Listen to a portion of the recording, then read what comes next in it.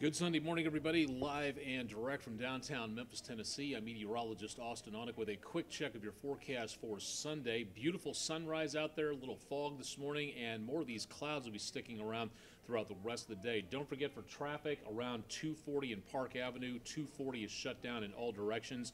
Poplar Avenue and Quince Overpass is open as detours for right now across much of the Mid South area. Seeing some dry conditions for travel and should remain that way into the rest of the day.